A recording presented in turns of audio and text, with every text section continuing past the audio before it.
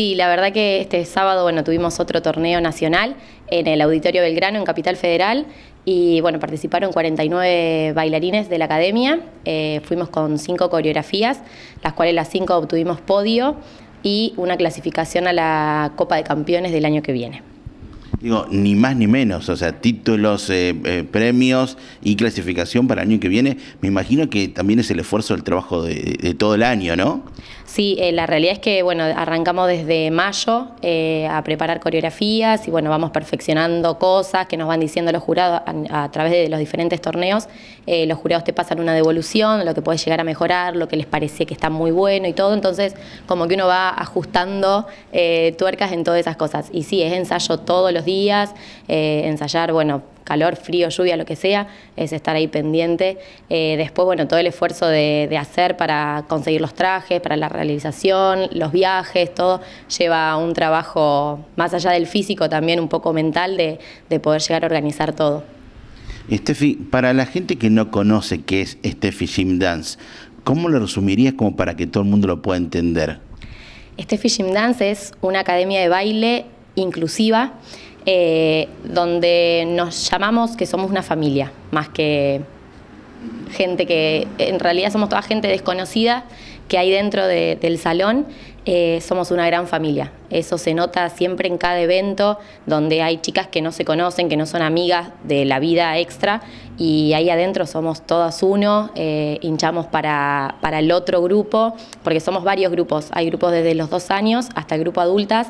Ahora para competir eh, fuimos un grupo de peques que tienen de 5 a 12 años. un grupo juvenil, que hay una nena de 8, de 11, de 12, de 15, o sea, es un mix de edades, fue el grupo adultas y todos hinchamos para el mismo, o sea, somos todos uno. Eh, siempre, y creo que desde que arranqué con, los torneos, eh, una de mis alumnas eh, nos había mandado un mensaje, creo que estábamos en Brasil, y puso, todos somos este, este Dance. Y la realidad es que, eso se resiente, somos el grupo de amigas más grande de Varadero, donde va una, vamos todas, por más que no bailen todos en ese torneo, van un montón de gente acompañada. El, apoyo continuo. Eh, las chicas eh, tienen una energía eh, tremenda, pero el grupo de, las más grandes como que es especial, ¿no? Totalmente, lo digo siempre, ellas tienen una, no sé, transmiten algo que es algo que no se puede explicar. Cuando ellas suben arriba del escenario, el público completo, sea de la academia que sea, la aplaude, la, la, la, alienta, ¿viste? Em, el torneo pasado, que fue, fue algo mágico. tuvimos un torneo el 27 de, noviembre también. Este, cuando subieron las adultas, todo el teatro, pero todo, estábamos en el Metropolitan, todo el teatro parado aplaudiendo fue algo, bueno, todos nos emocionamos, es más, hasta gente que no nos conocía emocionada, porque la realidad es que es el grupo más grande que se presenta casi siempre. Es muy raro ver a gente grande, eh, no voy a decir quiénes, pero hay dos alumnas que tienen 72 años. Este, la más chica, bueno, tiene 32, hay una de, 58, 69, eh, eh, son toda gente grande, ¿viste? Entonces como que es, raro ver a gente grande bailar. Entonces para mí tienen un, una magia, ellas que... Tienen un extra. Tienen un extra, ellas suben arriba del escenario y sea quien sea, la aplaude. Eh, tienen un, carisma, algo, algo que no, no se compara, sí, sí, es increíble ellas. Estefi, eh, bueno, se termina el año, me imagino que haces un balance de todo lo que sucedió, eh, pero también preparándose para lo que viene, porque clasificaron para el, para el próximo año, ¿para qué campeonato? Contanos. Sí, el grupo, bueno, el Team Reggaeton salió primer puesto Elite, el grupo Team Twerk salió primer puesto también, eh, los Peques, que bueno, para mí son los mini teams de reggaetón, salieron segundo puesto elite. El grupo de hip hop segundo puesto elite y el grupo de adultas segundo puestos. Eh, ellas, eh, todos los cinco grupos clasificamos para la Copa de Campeones del 2023. que bueno, estamos esperando que nos pasen toda la info, pero en el torneo pasado, con los dos grupos, el de reggaetón y el de adultas, clasificamos al sudamericano Brasil 2023.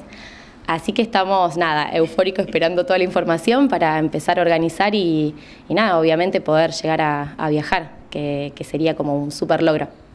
Estefi, y, de este año qué, balance haces? Eh, digo, como, como cabeza de, la escuela de, danzas o de baile, eh, ¿qué análisis haces? Digo, porque han pasado por muchas situaciones, venimos de una pandemia que, aún no se terminó, eh, bueno, toda esa cuestión.